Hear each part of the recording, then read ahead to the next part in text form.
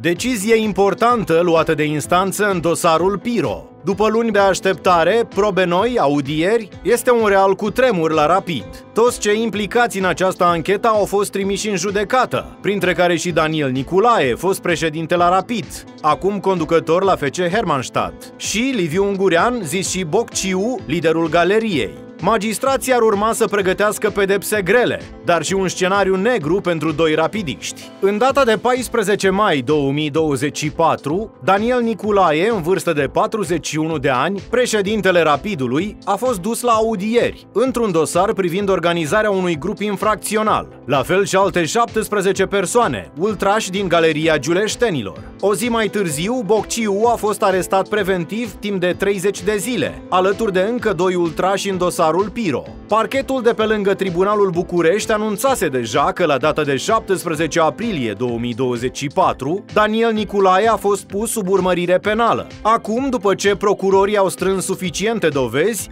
Instanța a decis ca persoanele implicate în acest dosar să fie trimise în judecată. Daniel Niculae este acuzat penal pentru că l-ar fi sprijinit moral și material și pe Liviu Ungurean, liderul galeriei de la Rapid. La data de 17 a 4 2024, procurorii din cadrul parchetului de pe lângă Tribunalul București au extins acțiunea penală față de doi inculpați, persoane fizice, sub aspectul săvârșirii infracțiunii de orice operațiuni cu articole pirotehnice. În fapt, în sarcina primului inculpat, s-a reținut că, în data de 14 a 3 -a 2024, a deținut fără drept mai multe materiale pirotehnice la adresa de reședință. Procesul este încă în desfășurare. Rămâne de văzut ce soartă vor avea Daniel Niculae și Bocciu, dar și celelalte persoane implicate. Cert este că acum nu au cum să scape de judecată.